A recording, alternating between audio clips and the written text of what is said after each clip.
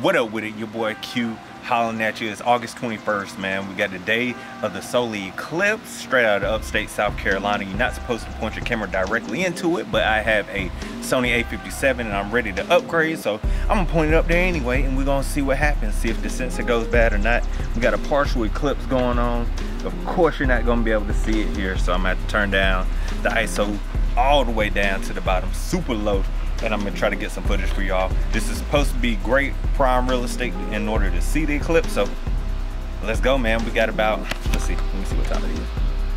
212, so it's supposed to start at 239 if I'm not mistaken, the full eclipse, so got about 27 minutes, so let's get it, man. All right, got my little glasses on deck so I can use those.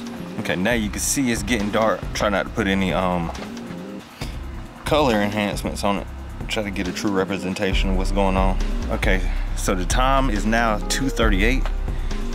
Didn't change the exposure at all or anything, so this is give you an idea of what it looks like outside.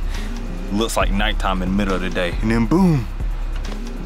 I do not have a telephoto lens, I apologize for that, but there it is, man. That's crazy.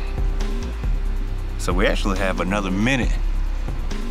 That's crazy, yo that's how it looks, man. That's crazy.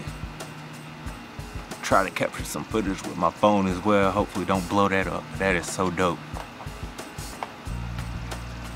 And the light slowly coming back. Still looks like it's like a weird evening shot, man. It's real cool. There we go. Just about over. All right, still a little hazy out, but now it's getting back to normal, man. That was really dope. Sorry I didn't have a telephoto lens to get a better view, but I'm sure a whole bunch of people gonna have that out there. Anyway, I just wanted to capture experience from South Carolina, man. Thank you for watching. Peace. Have a good one.